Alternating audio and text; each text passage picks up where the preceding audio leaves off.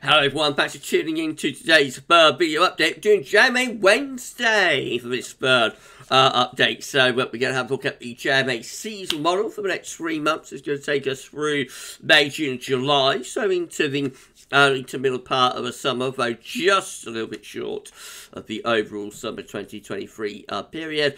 And uh, we, I'll get on that for you in a moment. This is ahead, of course, of the second summer 2023 season model roundup. That is going to be released on Saturday morning. Um, though we get 15 one five long range models from all of the world's leading broadcast centres to see what they're all showing for summer 2023 uh, on Saturday morning for single time this uh, season.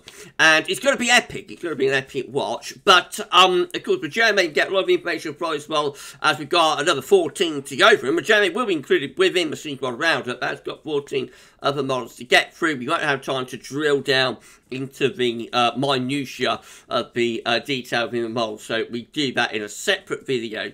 And uh, I shall get on with that for you very shortly. Just to say that first a video, say, was our 6am UK weather forecast They've also uh, released the ECMWF Extended USA forecast as well. And we've got a 10 to 14 there with all of the regular features coming up for you later on this afternoon. So if you could, please like, share, subscribe on our videos.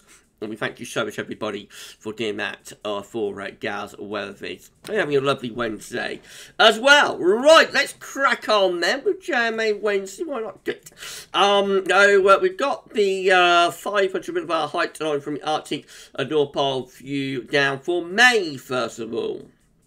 So this is the North Pole uh, just here. We've got the wider Arctic Circle around them. And of course, we've got the latitudes through here. So yellow, orange, and red, extrapolating to above average heights, which is high pressure. Um, blue to below average heights, which is low pressure. So the month one, 500 millibar height tonight for May 2023 looks like this. We've got a trough of low out in the Atlantic to the west of uh, France and also Spain and Portugal. We've got an area of high pressure centred across Eastern Europe, but the ridge does extend further westwards as well. So in between below the Atlantic and that ridge to our east, we could well be bringing up a lot of southerly influences there. I think so. Maybe quite a warm May being indicated with that, but possibly a little bit on the volatile side. If this trough of low uh, gets close enough to us, that could bring some wet weather in from off the Atlantic and might also deliver some um, uh, the trigger for some heavy showers and thunderstorms. So a warm but volatile uh, May potentially. Now June looks very different. Uh, so this is month number two. We get low pressure around Greenland, Iceland, and in the North Atlantic. High pressure then uh, going southwards. So this looks like it's reverting to a westerly, a return of westerlies here in June. Obviously, the dry, the driest weather would be in the south, close to the uh, ridge of high pressure. But overall, I think that could be quite quite an unsettled June being signalled there. Um, oh, uh, a traditional sort of return of westerly June monsoon type uh, pattern may be setting up there in month number two. And then July looks like that. Much more of an anticyclonic signal in July. Below pressure weakening and being pushed away to the northwest. Um, higher pressure developing just generally across much of northern and western Europe. Actually, could bring a lot of dry and settled weather, I think, through July. Potentially quite warm or maybe even another relatively hot July. Will that be a turn up for the books? I don't know, do you? Right, okay, let's drill down have a look at Trogonomy. That's your view, Ben. So we can't see the Arctic, North Pole, Greenland, Scandinavia, Iceland, all those areas off the chart up here. However, we've had a look at that view down, so we know broadly what's going on. Uh, you can eye the top right-hand corner of the chart as you're looking at it. Reminder of the month one, 500 millibar height, and only with that trough of low pressure just out to our west. And then of high pressure actually centered a long way to the east, but sending the ridge over towards west side of Europe. So we thought maybe uh, May could be like a southerly, southeasterly type month with wind coming up from the south. How's the temperature anomaly looking? A little bit above average, so it's average to a little bit above in those pale cream colours there.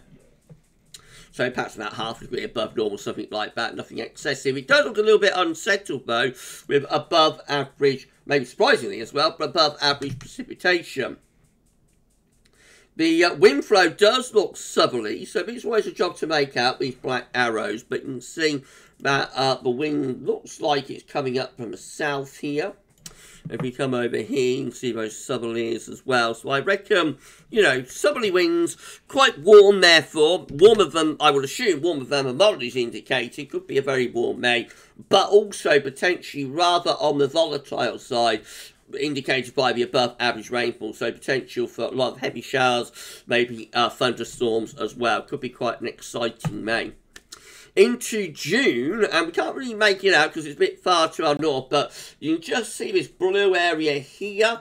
So uh, that's low pressure coming back in the North Atlantic with high pressure going southwards. This looks like a traditional sort of westerly June return of the westerlies there. The temperature anomaly for June, again, it's about uh, average to ever so slightly above and um, above average rainfall being seen for June as well for the UK and Ireland, especially further to our north. The wind direction in June is either west or northwesterly actually. So you see the black arrows going in that direction just there. They're northwesterly, but as we come into the UK and Ireland, they kind of veer westerly. Actually, there might be a little bit of a northerly component though to those westerly winds. So June could be quite a cool and unsettled month there, I think. Not the best start to summer 2023 with uh, the JMA. Um, then we go through to July, and this looks a lot more anticyclonic, so we could start to see some higher pressure building close to the country and also away to the east. We probably still bring up a wind from a westerly direction with that, but more of a southerly component, I think, to those uh, westerlies this time. So that should be warmer, but um, again, could be a little bit mixed, especially for more northern areas. But temperature remains ever so slightly above average, not a particularly big deviation. And the precipitation, I mean, goes dry at the south, but it's still a little bit wetter for Scotland and Ireland, actually, England Wales turning a bit drier. The wind direction for July uh, looks like that. It is still a little bit westerly actually with both black arrows, especially so to more northern areas. But if you come down here, you can see the wind direction is actually very variable. Um, no, it just depends how far north that high pressure gets, but potentially July could be a drier and a, a warmer month. So I think we've got like a potentially very warm, I would say a very warm uh, southerly May, but also could be quite wet and thundery with heavy showers and thunderstorms. I think we could be shaping up for quite a cool, wet June, actually, uh, with this.